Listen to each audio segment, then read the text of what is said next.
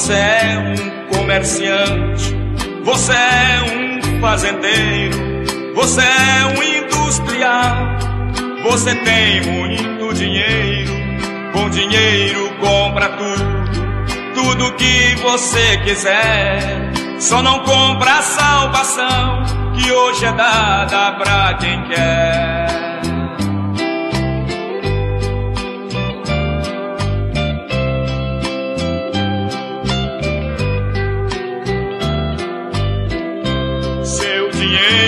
Está no banco, sua vida está arrumada.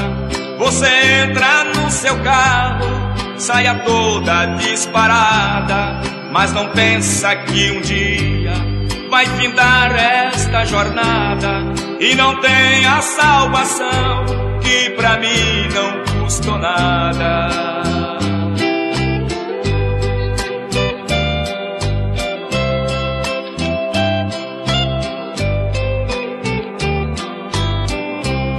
Você tem muito dinheiro, mas no seu lar não tem luz.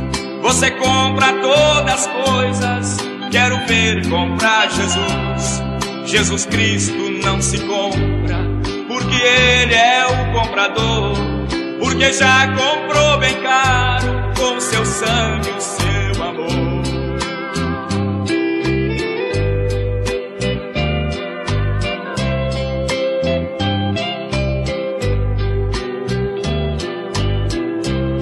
A Bíblia diz que é difícil o rico entrar no céu, porque o seu coração está preso no dinheiro.